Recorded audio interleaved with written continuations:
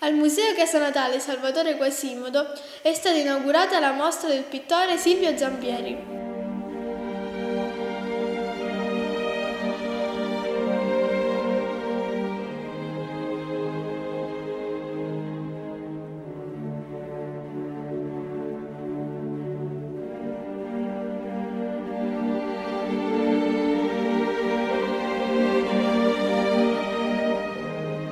Buonasera, sono Marinella, e sono presidente dell'associazione Proserpina che gestisce la casa natale di Salvatore Cosimodo. Stasera ci troviamo qua ad inaugurare la mostra di Silvio Zampieri, un omaggio che questo pittore ha voluto fare a Salvatore Cosimodo in occasione del cinquantesimo anniversario della morte che cade il 14 giugno eh, di quest'anno.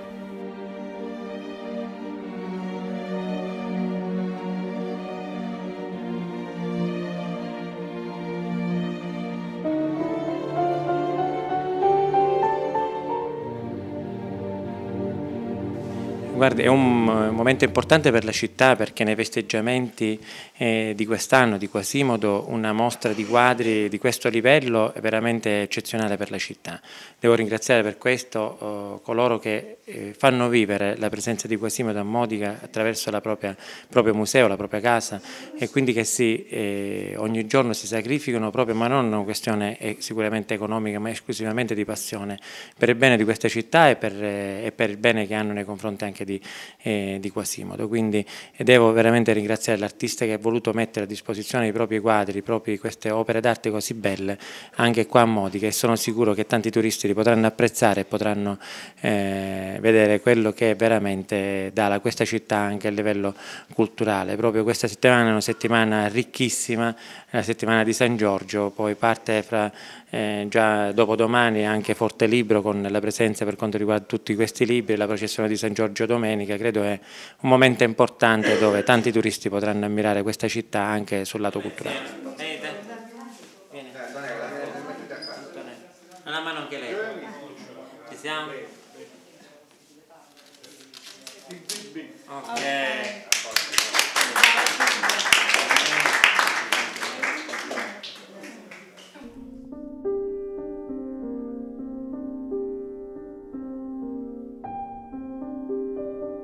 Intanto sono felicissimo di essere nella terra del sommo poeta, primo. Secondo mi chiamo Silvio Zampieri, dicono che sono un chiarista, il secondo chiarismo, che è una corrente pittorica. Il primo era nato negli anni 30 a Milano, in contrapposizione al futurismo, che erano un po' dei guerrafondai, diciamo tanto è vero che loro manifesto hanno dovuto pubblicarlo a Parigi.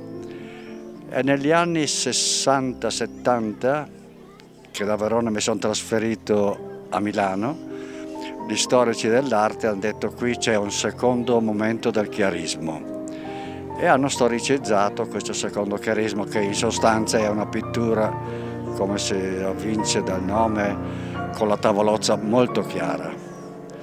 La mia mi sembra un po' chiarissima, però ecco, lei si chiederà cosa c'entra il colore qui, non colore del chiarismo, con eh, Salvatore Quasimodo, che ha vissuto in una città piena di colori meravigliosi. Vediamo Gottuso o i più grandi, insomma, la coloristica non mancava.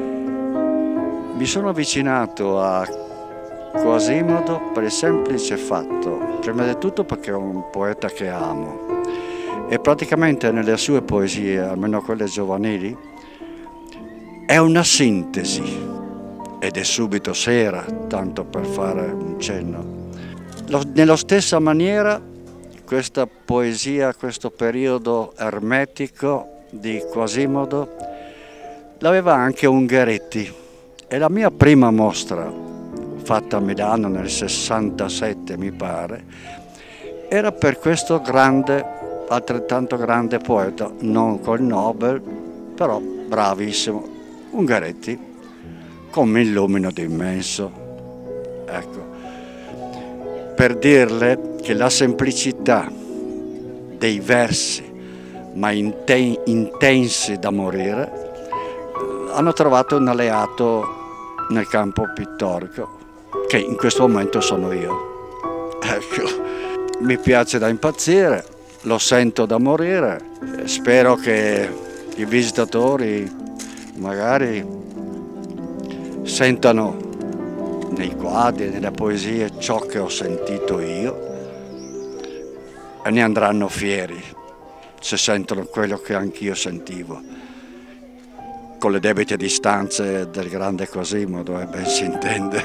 Modica poi è, è straordinaria, bella, questo tardo barocco, insomma, ha tutta l'energia del mondo per essere importante. Se lei nota, non vede che intorno c'è un po' quelle rocce così sono tutte un po' grigino. Perciò mi sento in piena armonia anche con l'ambiente, non solo emotivamente con Cosimodo, anche con l'ambiente. Tutto... Guardi il colore delle rocce, delle case, di... è tutto quel grigino chiaro. Vuole dire che non mi sento un principe? Mi sento un principe.